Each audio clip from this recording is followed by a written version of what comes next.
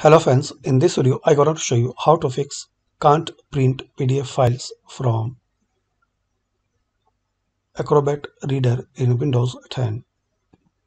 So to resolve this uh, issue, open your Adobe Acrobat Reader, then click on Edit,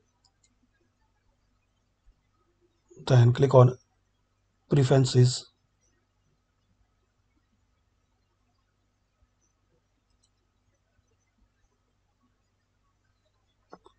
Now scroll down and click on security.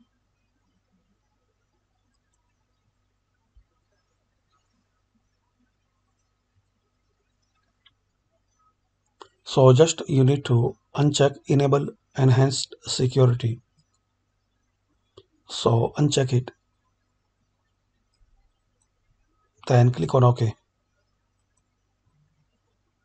Now close it and restart your PC. So hopefully guys using these uh, simple steps you can fix print PDF files from Adobe Acrobat Reader issue in Windows 10. Thanks for watching this video.